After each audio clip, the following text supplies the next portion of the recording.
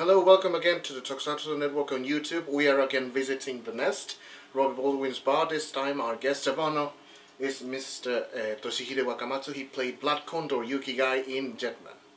こんにちは、よろしくお願いします。お願いしますま あ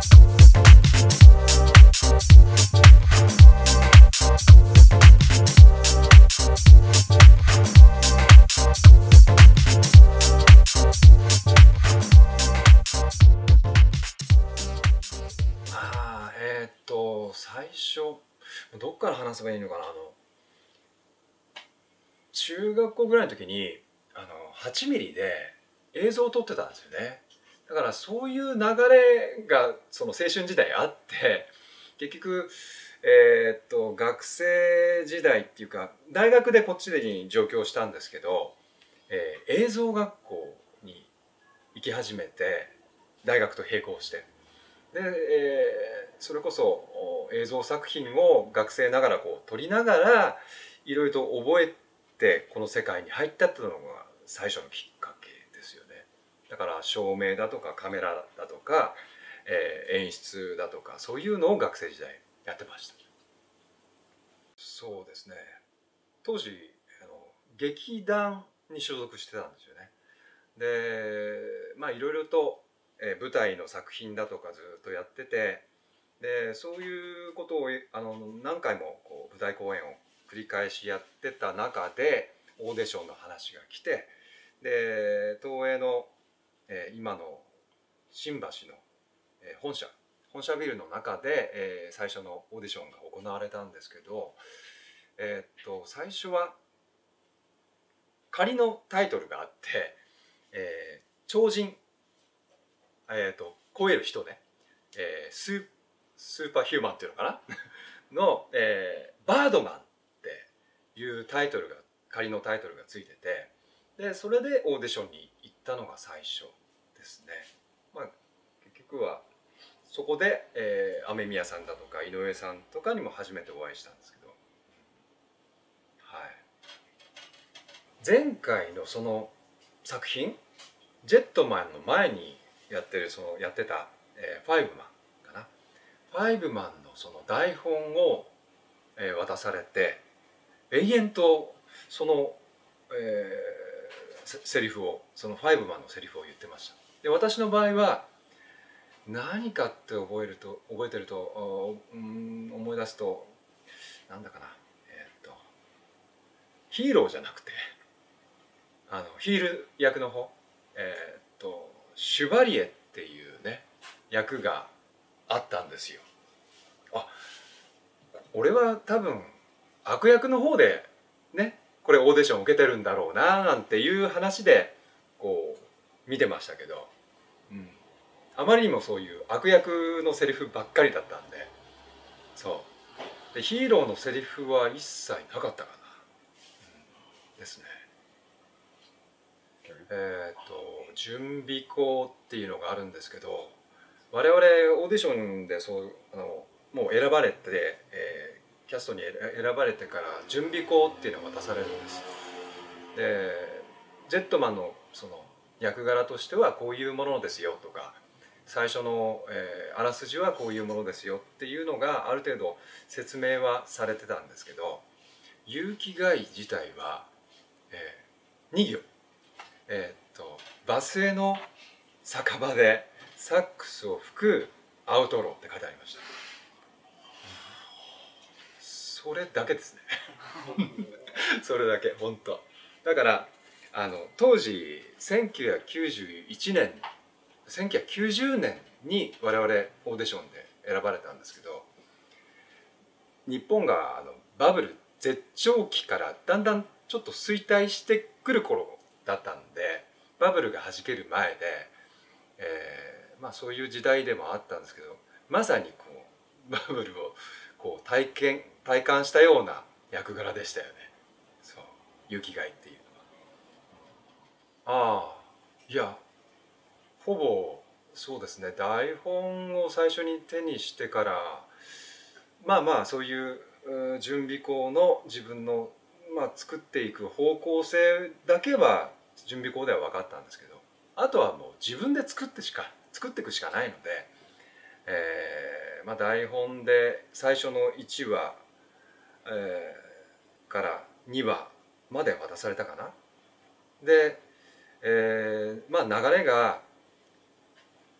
ある程度その1年間の流れっていうのはそこら辺である程度自分の中では作っていかなきゃいけないのでじゃないと多分1年間持たないような気がしてある程度こうなんていうかなオーバーアクションでもあのオーバーに見えてたとしても最初はいいのかな？というような思いで作ってましたね最初、うん。役作りっていうのは。まあ、それなりにこう、うん、ヒール役ではありましたから、うん。そういうふうに逆に見えた方がヒーローになっていく過程っていうのが見えやすいかなと。はい、物語はねあのそういう、えー、なんていうか地球を破壊しようとしている、えーそのバイラムっていうその、まあ、悪のっていうかそっちヒールの方が、えーまあ、地球を攻めてくるんですけど まあ結城外はそんなの我関せずのタイプの役柄なのである程度そういう感情移入っていうのはしやすかったですよね。うんあのだから自分の若松俊秀というあのそういう人間的なものをこうその有機外にこう入れやすい役柄でもあったのかもしれない。変にこうヒーローしてませんから、やりやすさかといえばやすやりやすい、うん。うん。そう思います、はい、エピソードいっぱいあるんですよね。エピソード1年間もありますから。今1年間もある作品ってね大河ドラマぐらいしかないから。えーどうしてもこの学生時代にこう映像を学んできたのもあったのかもしれないああったからあの演出とかそういうスタッフの皆さんと話すディスカッションする機会が生まれたのかもしれないし、えーそういう聞く耳を持っていただいたそのスタッフの方が多かったんで年齢的にも近かったんですよね。だからあのいろいろと演出面とか、えーこういうのがいいんじゃないですかっていう役者の一役者のアイデアをよくスタッフの方が取り入れてくださったっていうのがあって一つあの私が、ね、ちょっとアイデアを言ったのが、え地震が起きてエレベーターの中が真っ暗になるシーンがあるんです。でその時大好きだったそのホワイトスワンをねそうエレベーターの中に引き込んでいっそのこと俺を嫌ってくれっていうセリフがあるんですそんなに嫌いなんだったらっていうそのセリフ本当何行もないようなセリフをどういうふうにこう有機外的には見せようかっていうので、えー私はその当時はあの有機外としてタバコをよく吸っていた。でジッポのライターを持っていた。ただジッポのライターだとまあちょっとそれでも良かったのかもしれないけど演出にちょっとアイデアを出したのが、えーよくほらこういうとこで火つけるやつがありますよね。あれをスッてこう真っ暗な中でこうマッチの火をパッてこうかざして真っ暗な中にこう灯火が灯ると動物的にふっとこう安心するような感覚が生まれると。ふって。でそれをいきなり口元に持ってきてふって吹き消すとこの人何をするんだろうっていう彼女の表情になる。でそれを、えーやることによってその後のセリフが生きるんじゃないかっていうのをねあの言ったんですけどそうしたら監督が OK 出す前にあの照明さんが「それ面白いじゃないか」って「やろうよ」っていう話になってそういう流れっていうのは結構ありましたね他にも。ああそうですねまずは雨宮さんもえージェットマンの前未来忍者かな、とか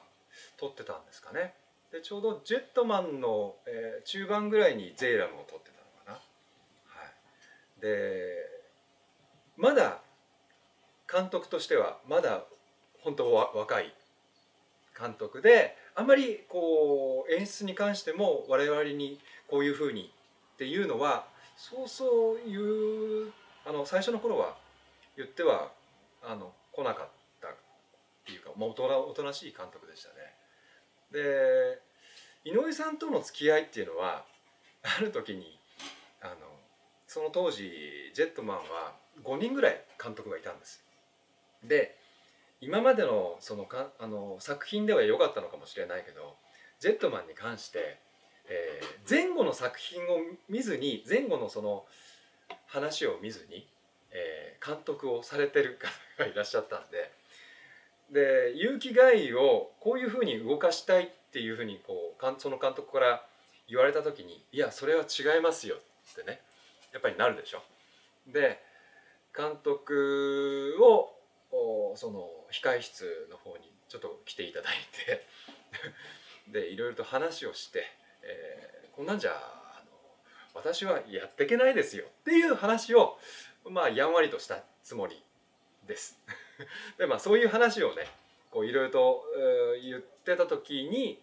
どうも井上さんってたまたまその前に井上さんと脚本家グループと、えー我々のそそういうつながりを持つための、ま、なんていうかな、うん、飲み会 があってその時にあの名刺交換みたいなものをさせていただいてで連絡先も知ってたので、えーどうもってこういうことがあったんだけどどうもって井上さんに電話したのがきっかけで、えーもうほぼ1週間に4日ぐらいは井上さんと撮影後にミーティングしてましたね。ミーティングという飲み会を。はい。だから吉祥寺にほぼいました私は。井上さんも近かったんでで飲み会というよりはずっとジェットマンのことに関して喋ってる、うん、あのこういうふうにしてくださいって一切言ったことはないけどもあの井上さんと話をすると新たな話が生まれてくるっていう飲み会ミーティングでした、はい、飲み会って言っちゃいけない。朝まで朝まででしたけど。井上さんの仕事場ですか？それともどこ？あいろんなお店ですね。あ。はい。だから吉祥寺を語れるぐらいですかね、はい、そう。井上さん曰く私に数千万使ったらしいですよ、はい、いやみんな知ってましたよ。最初から言われてた。最初から。は最初から。みんな知ってました。スタッフもキャストも。あの、うん、視聴率もね。まあ関係するところですからそこら辺は。だからまあこれが最後になると思う。ただ我々はやることはやりたい。だからあのいろいろと自分たちが考えてることをいろいろとやっぱり聞いてもらったのもそういう特別なところだったんじゃないですかね、うん、そういう。みんなが聞く耳を持って自分たちでこうやろうって。今までとは違うところで流れを作っていこうっていうような作品でしたから、うん。はい、そこまで爆発的な人気を持つというのは予知してましたか？いや。情熱だけですね。情熱だけ。結局自分たちそれこそ作品がどうのこうのっていうよりは台本をどういうふうに自分たちがね自分の役柄としてねこう練って練ってそれこそあのその時の私の台本真っ黒ですよ。ずっと書いてたの。今ないですけど台本、うん、あのなんていうかな。もう終わった作品に関して自分があんまり残しておいてもしょうがないだろうって自分でも思ってたんで今はもう処分してないですけど、うん。なんせあの51話ありますんでかなりの量なんで。そうです。あの準備校から何から。準備校が第3校ぐらいまであるんでその3倍以上。はい。あーなんだろうな。あんまりこう感覚的にはなんだろう。それで人気が出たっていうよりは作品としてその結城貝が生きてたっていうのをこう皆さんが認識してくれたのはすごい嬉しく。で人気どうのこのっていうのは、まあ後からついてくることなんでそ,、まあ、その時にこう自分がもう一生懸命やってる以外は何もないですから、うん、それでこうあ知ってくれてる人たちがたまにねあの声をかけてくれると嬉しい。あ知ってる？見てる？っていうような感覚ですよね。うん、いやそういうのであの徐々にほら声をかけられるのがどんどん増えていくわけでしょ？ああやっぱりこういう作品出てるとそうなんだなーなんていうのが徐々に来ました。普通の作品でなかなかないですから普通のドラマでも。そう年齢的に関係なく小さい子から結構ご年配の方までジェットマンってそういう作品ですですからね小さい子だけではなくて結構お年を召した方も見てらっしゃったんで、はい、最初だけそうアクションについてはその時はまだジャパンアクションクラブって言ってました。ジャック。ジャックのえーっとあけぼの町だったかな？当時まだフジテレビとかがあそこにあった時代なので、えー市ヶ谷に近い曙町にジャックがあったのでそこの道場を使って23日やったぐらいですね。うん、バク転とかできなかったんで本当基本的な立ち回りマット運動みたいなそういう練習はやりました。うん、でもほぼねあのアクションについては現場ですよ。全てはあの皆さんもう第一線のそのスーツアクターの方が皆さんいらっしゃるんでそれを見ながら聞きながらでマットランポリンマットを使ってジャンプしてキックしてとか回転してとか、うん、爆破シーンを経験して走りながらこうねバイクでもそうだしバイクアクションもそうだしボンボンってあの爆破シーンがあるでしょ？そういうのも経験しながら現場で、うん、覚えたっていう感じですね。あの年齢的にも同い年だったので大藤さん。大藤さんはで 近所に住んでたんです。で流れ的に言うと撮影終わって吉祥寺行くでしょ。井上さんと喋るでしょ。で次の日にそうだな。大藤さんちょっと空いてるって言ってちょっと今日飲もうかっていう話でいろいろと話をするようなそういう順番ですね。相棒ですから自分がこう台本これからこういうふうに変わり変わるはずの台本を、えー自分がどういうふうにこう演じたいかっていうのも話しましたしやっぱりそういうことを話すことによってその大井さん演ずるそのブラックコンドルがより磨きを増してねより活躍できるみたいなそういうふうにこう自分なりに思ってたんでそうするとね大石さんもやっぱりこう乗ってきてくれて、楽しいって言ってくれて。でそういうのを、えー、新堀さんはじめそのレッドからイエローから皆さんスーツアクターの方々はジャックのジャックとあそっか新堀さんは違うか、えーレッドアクションクラブだ。うん。のそそのスーツアクターの方々は羨ましいって言ってました、うん。どうしてもあのブラックコンドルと有機貝の関係が密にこうすごくこうね当たり前にこう作品をもう先を読んでこう動いてるような気がしてたんでしょうね周りは、うん。まあ、まさにそうですけど。先を読んで動いてましたけど。だから最終回の話も、えー数ヶ月前に、えーマイクロバス、ね、ロケバスね、に乗って、我々の席って、大内さんと私の席が一番後ろにあるんですよ。マイクロバスで言うと。で、えー一番後ろの席でちょっとおじさんって呼んでちょっと最終回の話するんだけどさってうんその話をこう毎回のことながら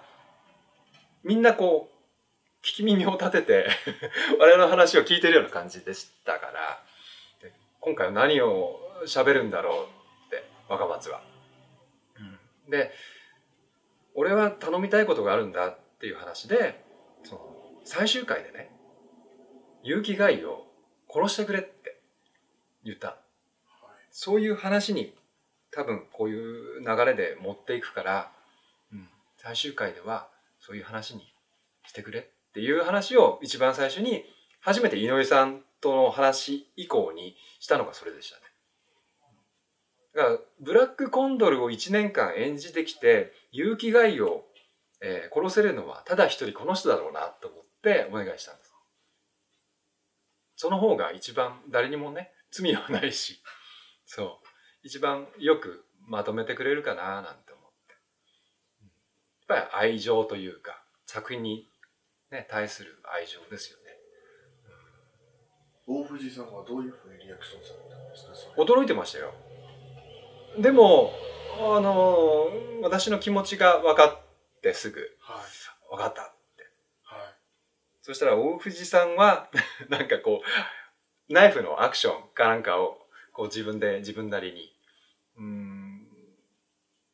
あのこういうふうにやるんだなんていうのをその後いろいろと話してくれたのが数日後ぐらいに、うん、こういうふうにやりたいって、うんまあそういうような感じで最終回の話もしましたし、うん。最終回の話だけじゃなくてそれまでまでの積み重ねがありますから、うん、なんかねあの周りからすると本当に羨ましいっていうような関係だったみたいです。演じていこうっていうのは全くないですね。うん、あのみんな仲は良かったんですけどお芝居のことに関してはそうだな。いざもう用意スタートっていうか、まあ、テストの時点からそうですけど始めたことによって対してみんなが真剣にこう相手を見てるっていうのが現場でしたねだからそれ以前に役に関して俺はこういうの感じでっていうのは一切喋ってないです、だから現場処理。現場で見て感じてやって、うん、っていうような流れですああ台本通り台本はうん基本的に私の場合はアドリブはそんなにしない人なんで、えーアドリブをするタイプっていうとライターとかアコなんですよね。はい。まあ勝手にアドリブはその人たちがその方々がやってたんでそれに対しての私のその反応だったりとかその辺ぐらいの自然な反応ぐらいでしかやってないんですけど、うんどうだろう。みんなはねそれぞれ考えてたみたいですけど結局その有機害っていうのがキャラクター性があまりにも強いんでやっぱりみんな有機害を見て動いてたっていうような感じはありましたね。うんだから、うんなんだろう。私とその監督とそのスタッフさんとのそのディスカッションしてるそういう会話をみんな周りでやっぱり聞いてました。すえーっとね。その何回目かはもう覚えてないんですけど結局その最終回から数えると、まあ、4ヶ月前ぐらいなのかな？4ヶ月ぐらい前に井上さんとふとこうほらガイシスっていう話のまあそういうのね。あの井上さんからガイを殺すっていう話を聞いたのがどっか私の頭の中に残っててあれ最終回でさやろうよ。って言った記憶もその時にあるんですよ。そうあのばあちゃんが泣くからって 言った後にどうせだったら最終回でやろうよそれほらあの全部終えてさ何年か後っていうのを見たいじゃんでその時に言ったのを井上さんがちゃんと覚えててくれてで最終回にやろうっていうのを最終回を作る撮影する4ヶ月ぐらい前にそういう話でいるからっていうような感じで私にその吉祥寺でね、うん、言ってきましたんで。あじゃあお任せしますと。そういう話で、うん、流れ的にはねそういうような感じですよ。そこまではうんもう勇気外っていう人間の生き方っていうかアウトローの生き方なんでそこまでその視聴者の方がどういう反応をされされるかなんていうところまでは想像はしてないんですけどあのジェットマンの作品の中ではありなんじゃないかと。その勇気外のそそういう結末は、どうしても人間勇気外ですからヒーロー勇気外じゃないんで、うん、その辺を演じきるところでそういう結末を迎えるような流れっていうのはありじゃないかななんていうふうに井上さんとも話してたんで。流れ的にはね何も、うん、スムーズというか井上さんとの話の中で生まれたことなんで、うん、こちらもね あえて驚く必要もなく、うん、行こうっていうそういう流れです、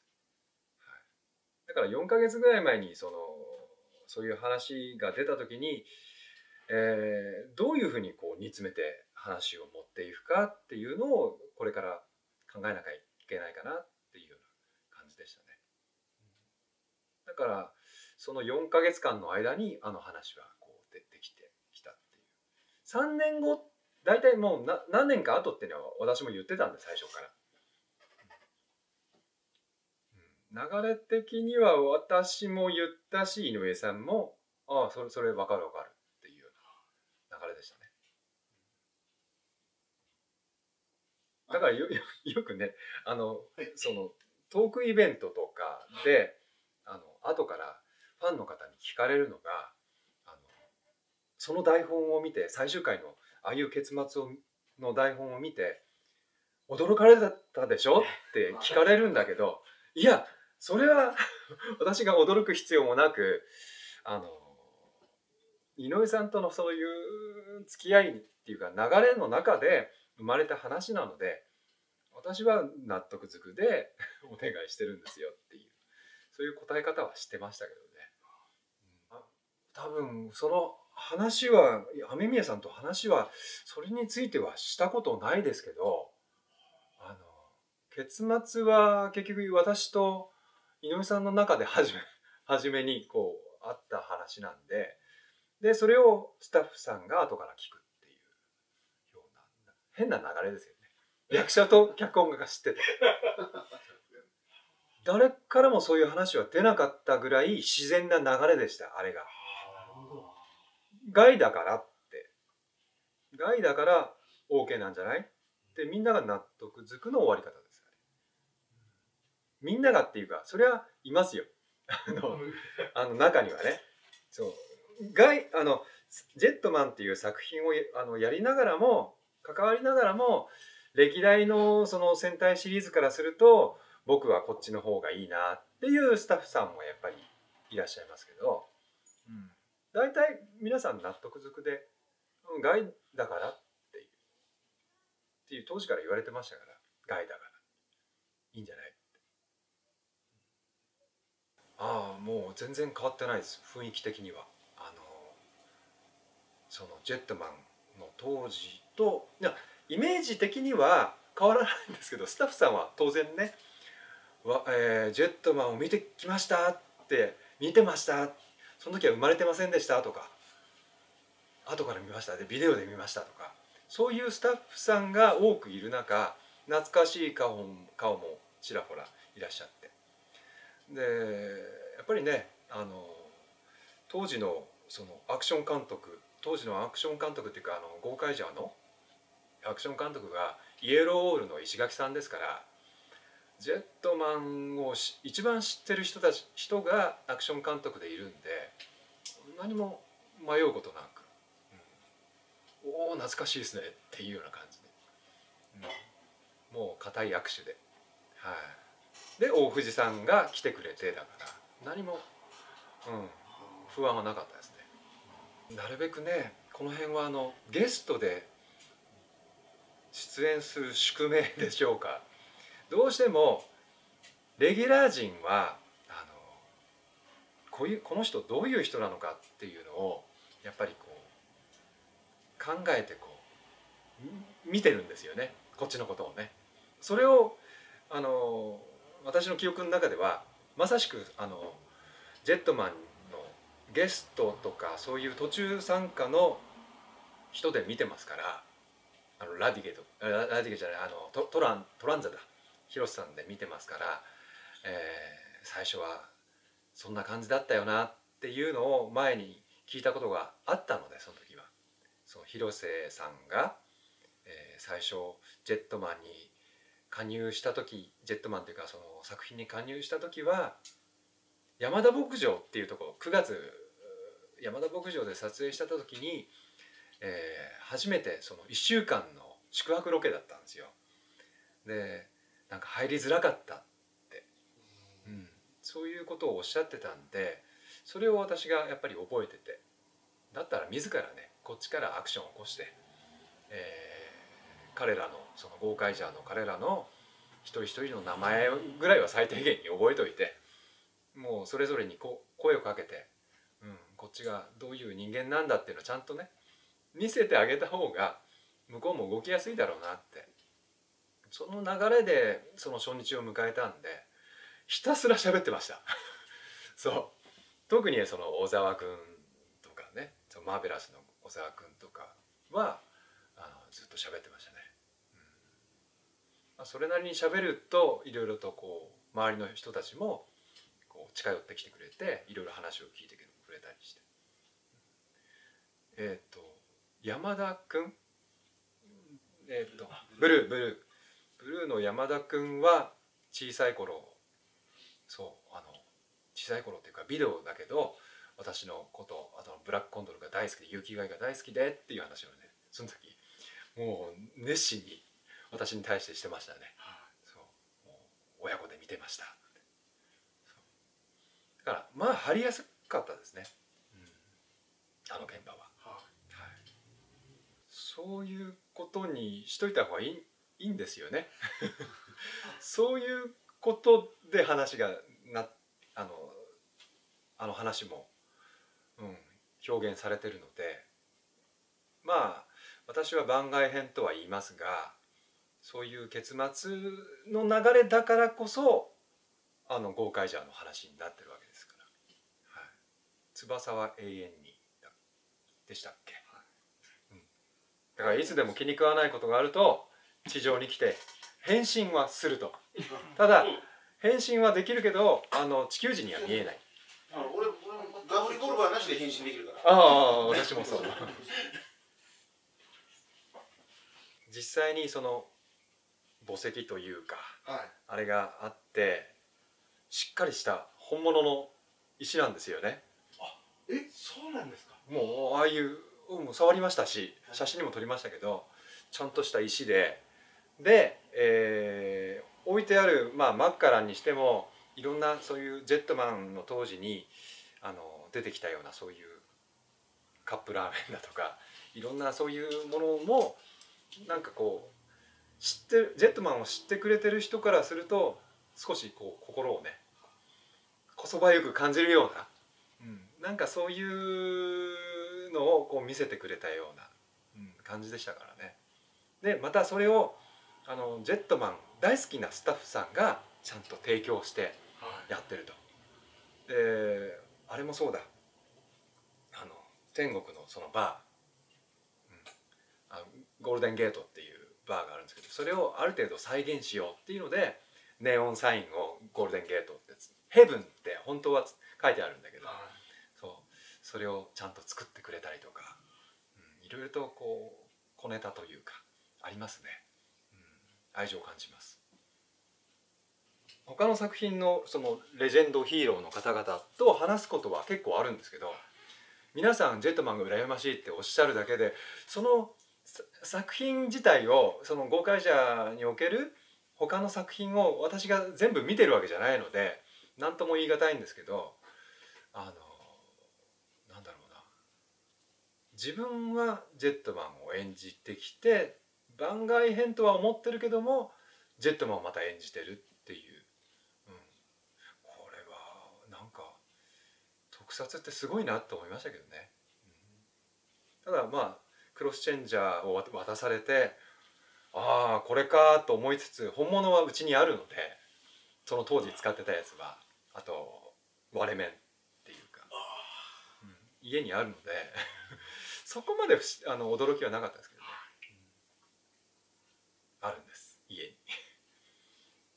またあの特撮の博物館かなんかでもできれば本当にね東映がそういうのをねあの戦隊シリーズで作っていただければもう迷いなく寄贈しますけどね。そう。うちでもあのずっとあの保管してあるだけなので。